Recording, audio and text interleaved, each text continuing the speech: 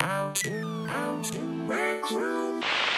to Grown Does a Thing, where I show you how to do a thing. Today we're going to talk about admin-only weapons. So for starters, you want to get any weapon that you want. This could be a bow, blunderbuss, anything you want, even explosive. For example, I'm just going to use a bow.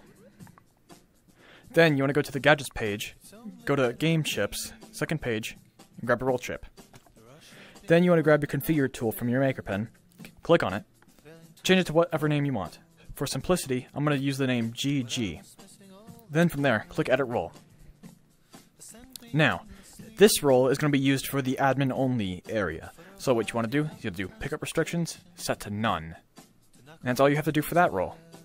Then next what you want to do, you want to grab your configure tool again. If you have your room set to default, your roles should be directly in the center of the spawn.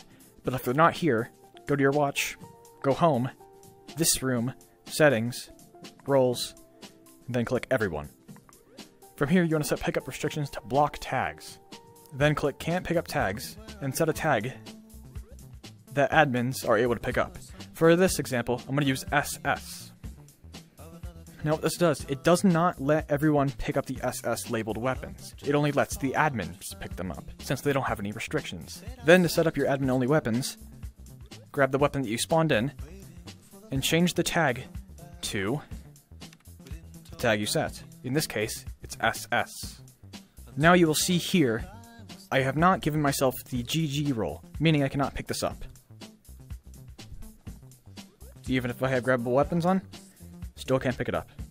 In this example, I have a bow that is labeled SS, and another one that is labeled a bunch of letters. As you can see, I can pick up this one because it's not labeled SS. Now to actually set up the admin role, go to Gadgets, Game Chips, second page, you can get a role mapper chip. Now before we get to the role mapping, these buttons are set up like this. Go to your palette, go to Props, Dynamic, and get a button. Grab your configure tool, click on it, and set Send Player as Signal Output on. What this will do is if someone presses it, it will output the ID of that player. Since I'm the first player, it'll output a 1. Then what you want to do once you have that button set up, click Configure on your role mapper chip, and make sure that it has the player role set up to GG, or whatever you named your role. Then click Add Player Role. Then you want to wire when button is pressed to player. When you press the button, you will receive that role. In our example earlier, this is labeled SS, and now I can pick it up. Now, if you clone your role mapper chip and set it to a remove role, GG, and wire it up,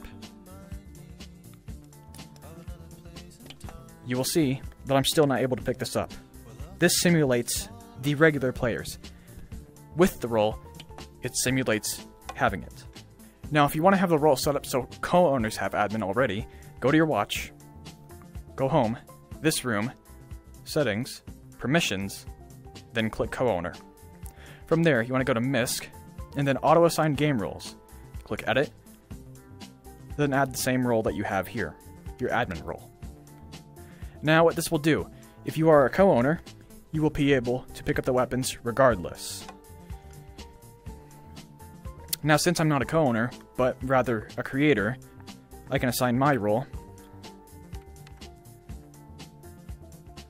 And now I am able to pick everything up. But if I remove it, still can't pick things up. Keep that in mind. If a co-owner or admin that has a MISC role set up removes their own role, they have to get the role back. That's all for now. Remember, give it your Rec Room best.